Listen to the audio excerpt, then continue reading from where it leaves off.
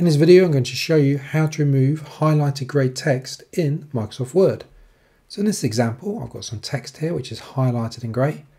The way to remove it, highlight all of it and you've got this option here, you have this highlighter tool which is currently yellow but click a little drop down next to it and then choose no colour. So that's one way of doing it. I'll show you another way though.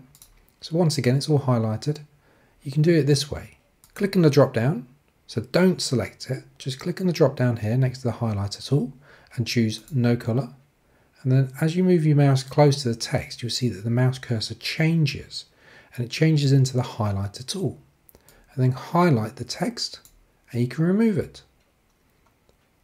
The other thing you can do is remove just some of it. So highlight the bits that you don't want and using either method that I just showed you, choose no colour or click on this option, choose no colour, and then highlight the words that you don't want to be grey anymore.